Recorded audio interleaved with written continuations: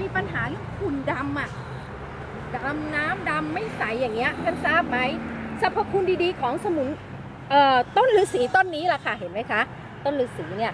สามารถแก้ปัญหาตามที่ดิฉันกล่าวมาข้างต้นให้ท่านได้เลย เพียงแค่ท่านนำต้นฤาษีเนี่ยไปปลูกไว้เถอะค่ะ ไปปลูกไว้ในน้ำของท่านตรงนั้นน่ะแก้ปัญหาโอ้โหได้ดีมากๆเลยค่ะ นี่แหละเป็นข้อมูลดีๆ ที่ดิฉันนำเสนอให้ท่านรับทราบในวันนี้นะ ถูกใจไงกดติดตามช่องน้ำเพชรไว้ค่ะ สวัสดีค่ะ เป็นพัชระค่ะ